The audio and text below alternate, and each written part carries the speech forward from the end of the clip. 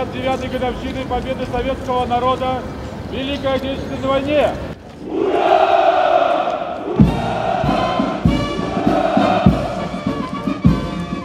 Объединяет нас сегодня Георгиевская лента, символ скорби, мужества и победы.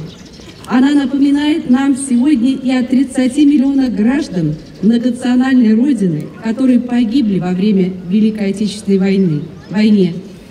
Есть в этом списке и те, кто ценой жизни отстояли Великие Луки, наш северный Сталинград. Более 30 тысяч воинов советской армии погибли в ходе Великолукской наступательной операции.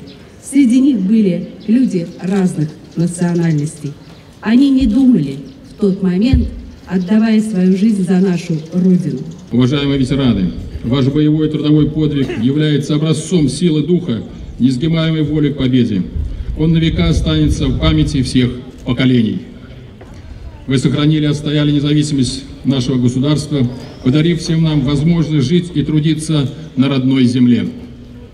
Сегодня на этой площади собрались ветераны Великой Отечественной войны, ветераны труда, великолучане, воины российской армии, молодежь, и всех нас объединяет великий подвиг участников сражений Великой Отечественной войны и праздник Великой Победы.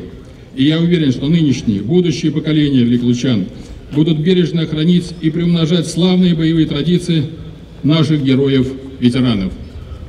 В этот знаменательный день всех ветеранов Великой Отечественной войны, ветеранов труда, всех великолучан, гостей нашего города, участников парада поздравляю с великим праздником Победы.